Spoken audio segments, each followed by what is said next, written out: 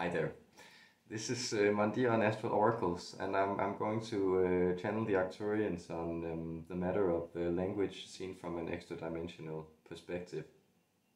And I knew some Spanish before I got here, but uh, it's still been very interesting. Um, like not being fluent in a language, it's it's that thing that when when there are several uh, parts of a sentence that you don't understand, it, it's it's hard to pinpoint um, exactly what it is you're not understanding about what is being communicated uh, to you. And, uh, and, therefore, of course, it's also uh, kind of difficult to uh, to navigate in sometimes. But at the same time, I really noticed that it, it is like very much an energetic space on its own. Like it has certain baseline frequencies, and uh, and well, particularly with Spanish, I feel because it is also a very uh, expressive. Um, culture and outward culture uh, that, that that you get this impression that there's uh, like an underlying emotional current that you pick up on and then then the words they they sort of attach themselves to that current and and then you try to discern from that. So so even though you're not necessarily understanding what it is people are communicating to you exactly you usually pick up on the baseline intentions and, and emotions of um, of what's going on and I feel like that that's very interesting. Uh, like I, I I've also grown into the habit of, of when I, I get upset with it it, I, it only happened one uh, one time here and but but it's will get so upset with someone who's uh, who's yelling at me that I just start responding in Danish because I know that that even though they don't understand it they will definitely pick up on that intention that okay I'm really not okay with what's going on here and I'm, I'm going to communicate it in this uh, very harsh and guttural tongue, which you will also find like somewhat intimidating. So so that's uh, that's interesting, and of course I also noticed that there's the interesting element that we tend to uh, the human mind tends to perceive things that it can't comprehend in that way as slightly aggressive. So I've heard the notion down here that they find uh, German, for instance, very aggressive, and and I think we have the opposite notion that we really find like Latin languages uh, very outwardly uh, confrontational, and it, it essentially just happens uh, with because your mind doesn't know what to to make of it, and then then of course like those circuits, that is something going on here that. Uh, that might be detrimental to my well-being, like that they kick in as an instinct, and I, I think that's um, that's very interesting because there are like these baseline energies and and also this sort of baseline personality ingrained in a language. And of course when you're dealing with huge languages such as uh, english and, and spanish which spans many cultures and um, many climates and, and uh, many different uh, historical developments it's also very interesting to to sort of try to discern that okay what are the nuances here that are being communicated. Be, because what I've also picked up is the like the, the more I learn Spanish here the, the, the more folksy I think I actually sound to people who speak like a more standard type of Spanish. Like it's going to Andalusia is perhaps the equi- equivalent of going to Yorkshire to to learn English. Like it's it's very charming but it's also something that that would actually come off as as kind of incomprehensible to a, a lot of the, the standard speakers of of the language who who perhaps speaks um, like a broader dialect, like Mexican, is definitely uh, easier to um, to understand on the ears, and, and that also goes for, for most American accents compared to uh, a lot of a lot of the British when she, once you, you get far enough away from London. So so in that way, I, I feel it, it's been really interesting trying to to perceive and discern these emotions that are um, that are coming forward in in the language. And. Um, and what I notice and what I, I often talk to the Arcturians about is also like one of the things they really appreciate about the experiences I communicate back to them is is exactly that uh, wonder of, of language. Like what is it actually? Because it's a very human mode of, of expression. And I I guess what it essentially is is it, it's actually the 4D perception so it, it has a lot to do with being a sort of time machine and I believe this has also come forward before, but but the idea that you actually transpose your consciousness into a type of symbolic, timeless uh, perception, uh, which is hidden in the word, but it of course also distracts you from the real world, world or immediate uh, perception. So in that way, it, it's both a blessing and a curse, and uh, and it is my impression as we move into the five D um, languages themselves are also changing, and um, and we observe, for instance, how well you know emotional experience uh, again comes to the to the forefront. So so what you can say about the Twitterverse and uh, and online communication and, and NetSpeak is is of course also that it it constitutes uh, a move away from from that very elaborate literal tradition of, of phrasing yourself in in expositions and then moves on into uh, emoticons and acronyms and uh, abbreviations and, and all these types of um, of, let us say, more condensed expressions where you're just supposed to discern the meaning behind it rather than, than dwell on all, all the nuances that are, that are brought forward. So I thought let's bring in the Arcturians and see what they have to say about uh, uh, their perception of language and where we are we are going with this. So thank you for being here, guys. I hope you enjoy.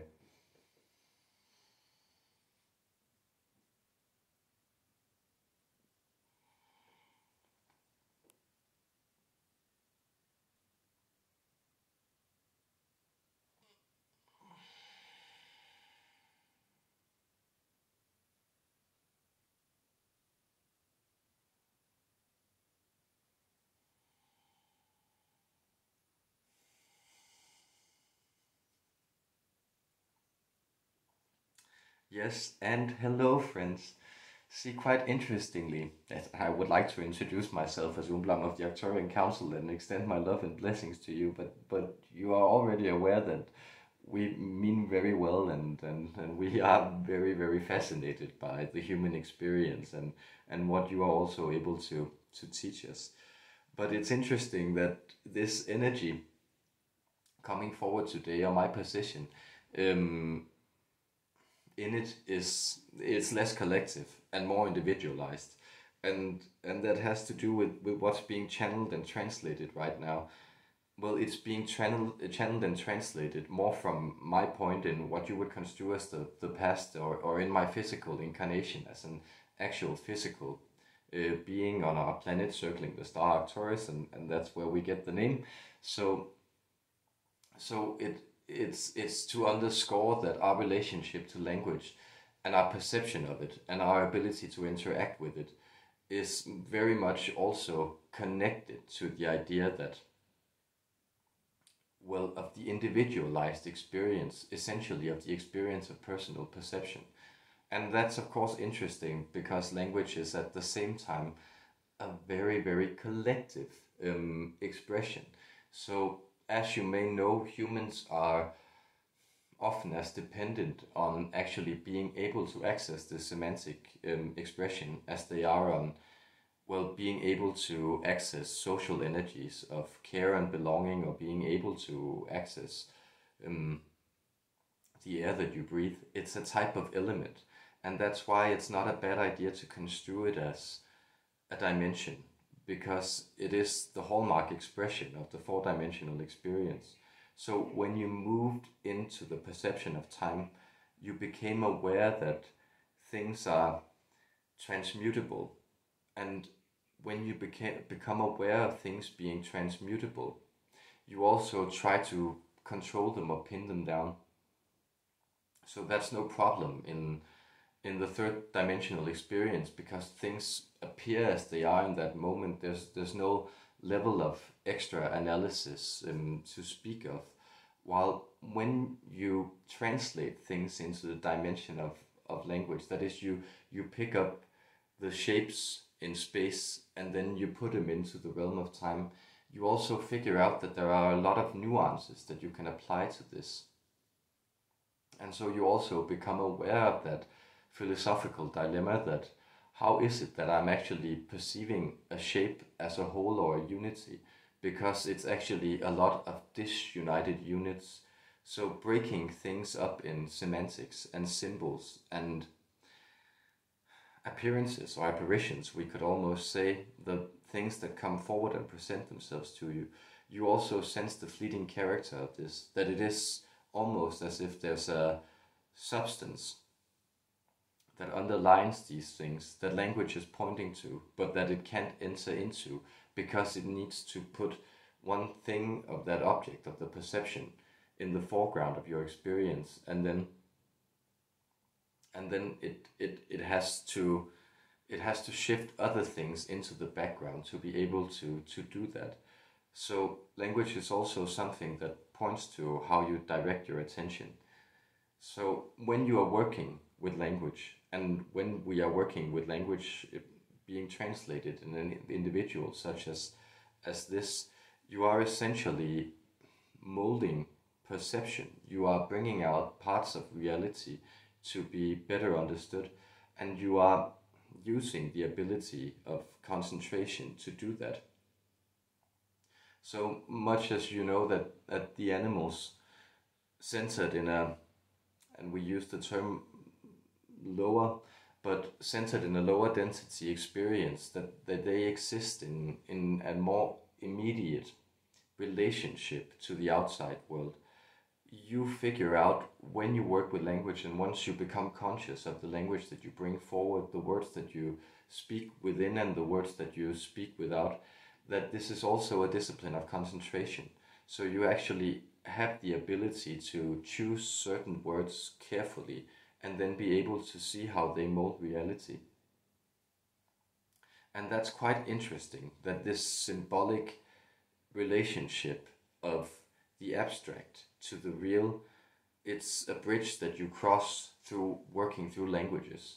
But at the same time, you are working within a model that is already constructed.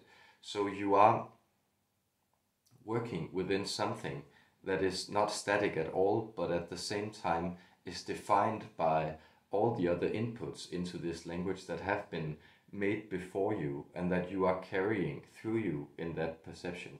In that idea, you could think of language as its own type of consciousness, and it is a type of storeroom that exists within time where you can then retrieve the notions and ideas what has already been forward by accessing this and expressing it. And that's that's something that we would like you to encourage, encourage you to, to do, to also figure out, well, how is it that you are interacting with these energies? How are the words you are using feeding into your baseline frequency? And how is your baseline frequency shaping the word, words that you are using? Because words are indeed quite powerful. They are composite symbols that bring forward certain configurations. It's a type of summoning in that sense. Every time you speak, you summon reality, and therefore, it can be helpful to begin to perceive these systems, this language, as something that is transpersonal, something that is acting through you and that you are acting on as an agent of that greater current running through you rather than it what it is often construed as in the individual consciousness that is that notion of self thought or uh, self talk or thought or reflection which const- is constantly running and which is constantly casting spells within on your self perception and bringing notions forward that I'm this thing and I'm I'm this thing and not that thing and I have that name and not that name. And of course, you are from our perspective all these things. So you are the framework that upholds this. And that's what you can think of as the Akashic or the 5D. It's the framework, it's the ether that you're realizing that makes all these energies possible. So ingrained within this are the greater energetic patterns ingrained within the Akashic are the greater energetic patterns that are connected. So, where language essentially separates, and by separation brings out something outstanding, the Akashic integrates, and by integration, it brings out something holistic, well, and, and by holistic, we mean, mean the sense of belonging, the sense of interconnection, the sense that you are a part of a greater unfolding, that you are a creative agent within. And so language serves many functions, but you could say that the specific function of poetry is actually the re the rewiring of language to bring you back to immediate reality. So it's it's the connection of these planes that language has separated you from with language itself. It's something that that begins to remind you that you are in fact something greater and therefore also every time you engage with poetry and we mean this in the broad sense not just as stanzas in a book but but but with the idea that it's the living language it's the language that awaken the sense of you being something more than you are. And fiction in a sense has the same quality because it brings forward this sense of participation in a reality that's not immediate to you and yet seems to reform your immediate reality by levels of recognition, by levels of explanation, by levels of expansion and understanding. These are all perspectives that you can use to understand this specific and very human type of expression. So notice that all ascended species have usually had this move through the fourth dimension, that is the symbolic dimension, the dimension where abstraction becomes tacked onto what you call physical reality or the more dense densities. And but it's very, very difficult how they do it. And you know from observing species on your own planet that well there are loads of complex types of communication that are construed through different cues, sensory cues. So we point, for instance, to the octopus, and some species here are able to communicate through color instead. There are, of course, also the type of sonar communication that takes place, which is also, you might construe it as audio, but again, it, it relates more to the idea of the echo or the landscape as vibrations. And, and that's a different way of construing it. So all alien species have quite their unique take on it. And that's also why it's, it's in many ways we are able to do this because we have learned so much about you. And a lot of species will be able to do this.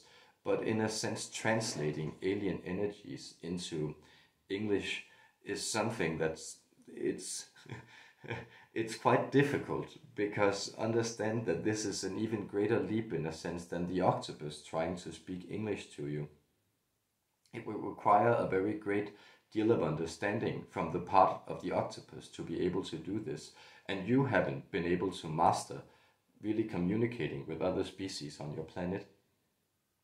So, therefore, also know that this is a process that is still developing, but that you are moving into more elaborate sensory types of language, that is, types of language that integrate different separate parts of experience. And so you could, for instance, construe your virtual reality as a type of language, a type of complex semantic code that's connected and then wired into several senses at, at once, and not only the auditory sense and not only the vocal cords, but visuality at the same time, the sense of perception at the same time. So, and this is, well, we would use the term holistic again. It's more hologrammatic. And it's something to play around with because you, you can't go wrong in it. But it is true that there are certain baseline energies as we read them in your different languages. And that means that, that you are always approaching this dimension from different angles. And and of course that's that phenomenon, phenomenon phenomenological truth that you are already always acting on energies already working through you. So therefore it's important to recognize and you do this for instance through elaborate symbolic systems such as astrology, that you are working from certain baseline energetic configurations. And so it would do no good to go to Mongolia and and to to start to speak Arabic to them because that that would be two energetic currents that are not necessarily aligned and that would need a lot of work to begin to reach each other and to connect and therefore be happy with the energies that you have chosen. Because from the perspective of your higher selves you have chosen to find these energies and begin to work with and configure them from the baseline and you are all adding to the development of this collective reality as you push forward and onward into the exploration of human experience. And some of these baseline qualities, they are of course connected to the landscapes or, or the basic energies. So we were, we were for instance listening as this vessel described his experience of the Spanish language. And this is a, and when he says that the language is seen as somewhat, if not aggressive, then, then very directed outward, that has to do with the quality of heat. So the quality of heat is a quality that begins to mold barriers open and that is more within the potential space of exchange rather than the more sparse configuration of of the cool temper which economizes with the energies that it wants to bring forward and which is more inclined to let us say private experience or the idea of separation and the separate exploration of the inner dimensions. And this is something that has been so defining for human uh, for the human species through your history that you were set in these climates that it's it's a bit shocking or let us say overwhelming to you that you now live in environments where you are able to well for a lot of you move around in different climates landscapes configurations landscapes cultures but also that you are able to essentially configure your environment, that is your living environment, by adding heat or cooling it down, and thereby creating a more malleable state of all the energies that you work within. And so there is this sense of consciously creating a framework and then allowing that then allowing that impulse of language to flow through that framework allowing your exploration of the symbolic to take on a conscious character and for you to create the spaces, be they hot or cold, that you want to interact with and bring forward, and for you to invest those with sentimental reality, for you to invest those with the connecting bridge of the symbol that leads you from this dense reality and into the ever flowing connection of the energetic current that you know as the five di uh, fifth dimension. We sense that this has been quite a complex talk to register and comprehend for the human mind. We can at least register that this is a quite confused individual that is trying to process all the implications of what it is that we have said to you as we also use some of the baseline structures within him to translate our message into something that is, at least on paper, should we use that expression, understandable to a human being that also works these codes of English. Therefore, I would love to leave you with that, and I would like to leave you with the idea that in my time, I experimented a lot with language, but the experiments that I carried out, it was more, if, if you could think of it as floating orbs of light that when you touch them or interact act with them, fill you with spells and incantations, fills you with melodies and fills you with emotional sensation. So, what would be comparable to it was that if you were to read a book, you would consume all the content and essentially the emotional configuration in one go. That was that was my highest joy and excitement when I was alive and a physical being, and it's something I transmit to you as well. So approaching it, I have given you all these linguistic symbolic codes, but I will also leave you with a vibrational incantation that's able to convey emotion in a more clear and direct, straightforward manner.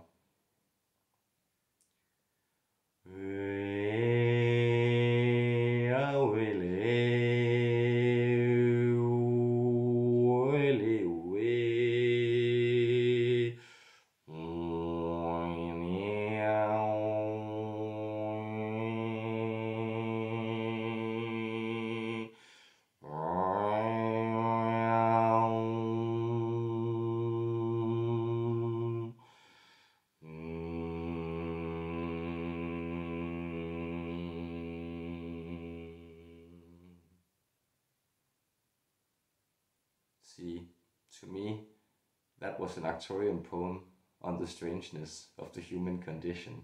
And with that, I leave you with my deepest love and blessings. Goodbye, dear human beings. Thank you for being those humans.